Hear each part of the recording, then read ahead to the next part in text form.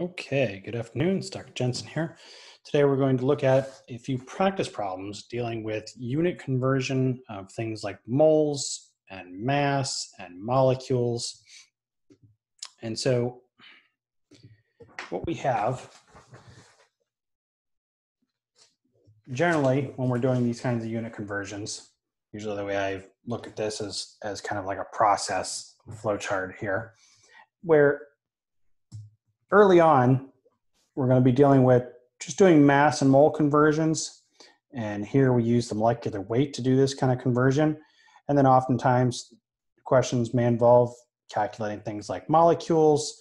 Um, early chapters usually involve dealing with volume and density. So if we want to convert from volume to mass, we need to have the density. If we want to convert from mass to moles, we need the molecular weight.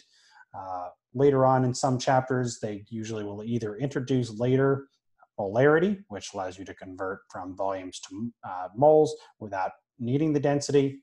And also later on, molecules tend to drop off as an area of interest, and we start getting into more chemical reactions where we want to convert from moles of one kind of chemical to moles of some other kind of chemical. Um, in here, we would also introduce the balanced equation, but that also involves things like uh, again, balancing reactions and things like that that we'll cover at a later video. Okay, so in this case, our first question here, we want to know if we have 11.8 grams of argon, I don't know how many moles is that? Okay, so essentially we're starting here. The A and the B don't really matter. They're just some, some object A and some object B. So we just need to worry about this side of the equation at this point, okay? So we want to convert from the mass of argon to moles of argon. And so the flowchart helps us to come up with what information do I need in order to process this? We need the molecular weight, okay? So uh, usually in most classes, at least I can't imagine that they make you memorize the periodic table too early.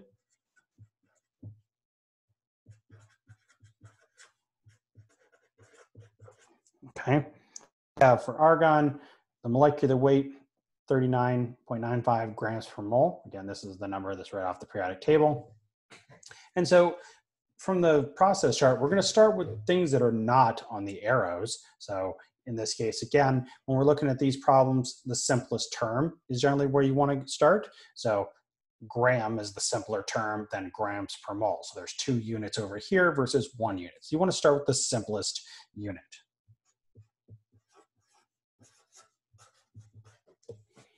Okay. And so when we set this up, we want to set my unit that's opposite to be the same. Okay, so the 39.95 grams. Okay, so the mass goes on the bottom, so it's opposite, and then the moles end up on the top.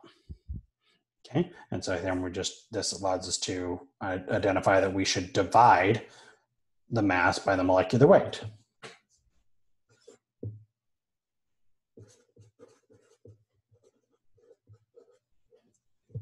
Okay, and we get 0.295 moles. All right, so that's a pretty easy one. Again, the other way is to go backwards. So if we're given something like moles, and we want to know what is the mass, we would multiply by the molecular weight. Okay, the process flowchart doesn't indicate like down is always divide and up is always multiply. It doesn't always work that way. All right. So here, Okay, so this is stepping it up a little bit in difficulty. Here we want to know, we're given the number of molecules. It doesn't matter if it's molecules or atoms. Okay, uh, any object, really any object that you deal with can be used with Avogadro's number. Again, Avogadro's number, the mole, if we remember, is is just like a number of unit is like saying a dozen. If I have a dozen pennies, I have 12 pennies. If I have a dozen atoms of lead, I have 12 atoms of lead. So a, a mole is simply 6.02 times 10 to the 23rd atoms lead, or it could be molecules of lead oxide. It can be a mole of pennies is 6.02 times 10 to the 23rd pennies. So it doesn't really matter what this is. Often you see this as molecules, atoms, ions. will be another reference or could be electrons.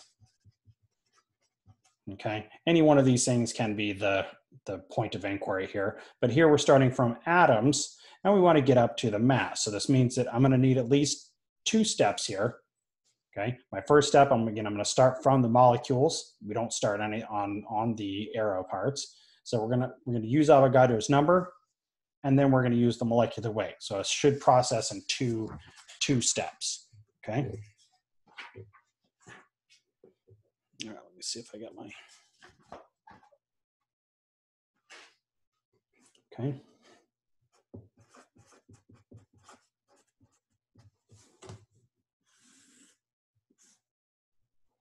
Okay, and so my first step was Avogadro's number. So Avogadro's number is really 6.02 times 10 to the 20, 23rd atoms in one mole. So since I was starting with atoms up here, there are 6.02 times 10 to the 23rd atoms in one mole.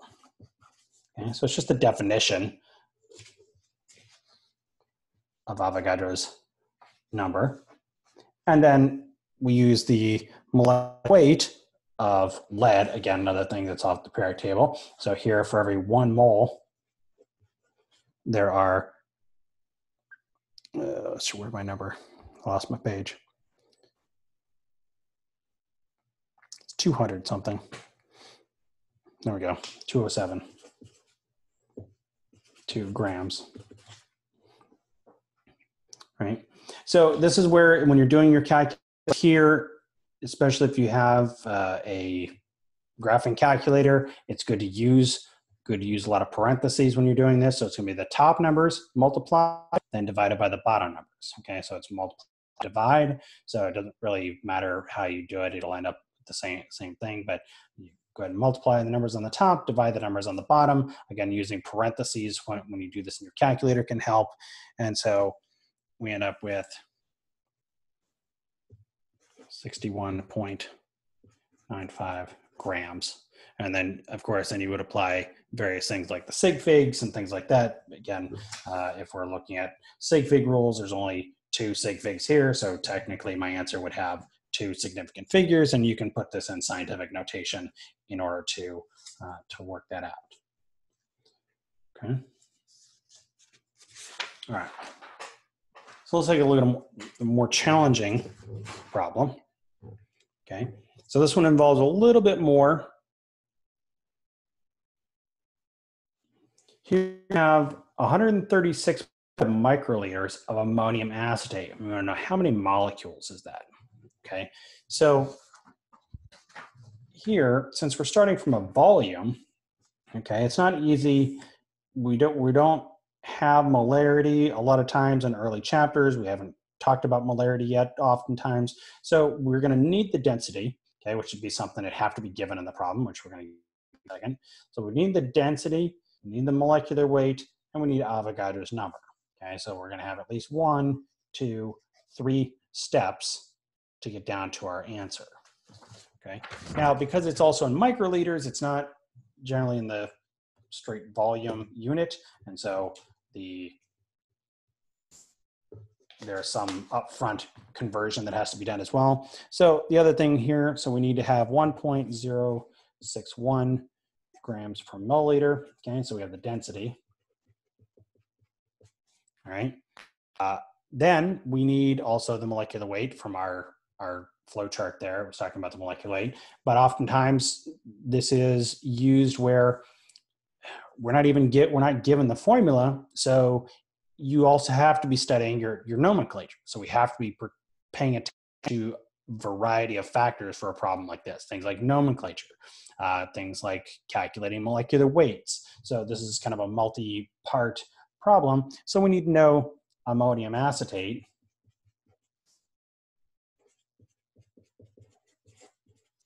Okay. So you would need to know how to put the formula together, and then we could calculate them like weight. Right? Per mole. All right, so now we have a whole bunch of numbers, right? But at least some of the, but most of these are from our flow chart here, where we needed the molecular weight, we needed to have the density, and Avogadro's number is a constant. Okay. So let's look at how we would set this up here. Change pens here and see if this uh, helps. And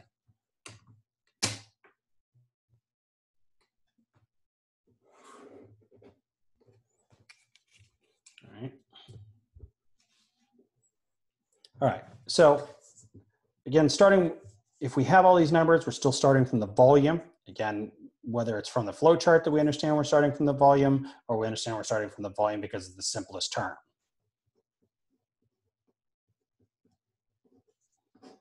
Okay, uh, so we would need to do some conversions because our density is in milliliters.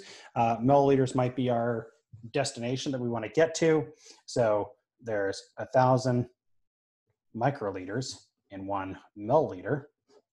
Okay, so again, microliters is 10 to the sixth. So there's there's 10 to the sixth microliters in one liter, right? And then there are a thousand milliliters in one liter, right? So I'm just I'm just so this is 10 to the third, right? So the difference between these two is 10 to the third, right? So there's a there's a thousand microliters in one in one milliliter. Right. So then from here I can use my density. So the the mass part is separate from the milliliters. So in the milliliter, so there's 1.061 grams, grams per milliliter. Okay, so again, I'm whatever I'm leading with the opposite term. So I'm looking for what what needs to go opposite first, and that gives me my basis of what is my next step.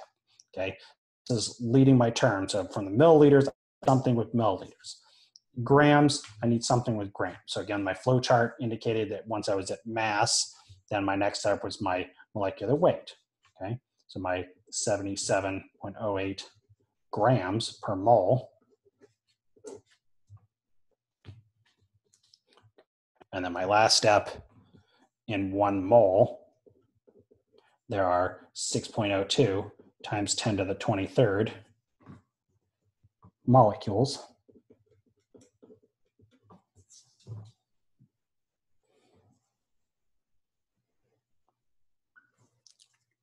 So we want to multiply all the numbers on the top, divide numbers on the okay. If we're looking at a multiple choice kind of problem, one thing we want to look for first off is if we're looking for molecules, this is generally going to be a large number. It's going to be a big number. Should end up with well, there's going to be a doesn't even matter how how much stuff there is. Even in a microliter of solution, we're going to end up with a lot of molecules. So we would expect to have a big, so the numbers can't be something like five, right? It's not going to end up being like 5.5 molecules. It's going to be something in the 10 to the 20 range. And so we multiply all the numbers on the top, divide by all the numbers on the up with 1.121 times 10 to the 21 molecules. Okay. Again, your sig figs would play play a role here. Uh, if we go back, you know, if we have four sig figs, this is not really counted. The density can be whatever sig figs really we we want. We have four sig figs in our molecular weight.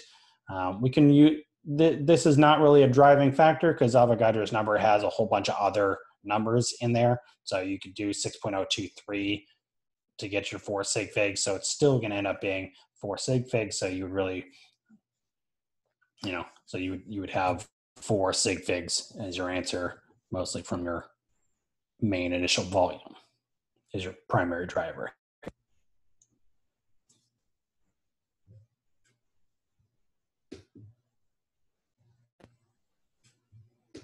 Okay, so So that looks at a couple of practice problems dealing unit conversion with moles and molecular weight, looking at molecules. Uh, we can come back and look at some balancing equations, and then we'll look at these. These same kinds of skills are going to be used in later chapters where we're looking at things like converting from, again, doing chemical reactions. calculating mass to moles, moles and mass is going to be an important skill that we have to be able to do for other practice problems down. Okay, so being able to go back and forth from mass to moles, we have to be able to do that. We have to be able to calculate molecular weights. Okay, so those things are generally going to be skills that you'll continue to use beyond whatever initial chapter this gets introduced at. All right, that's it for today.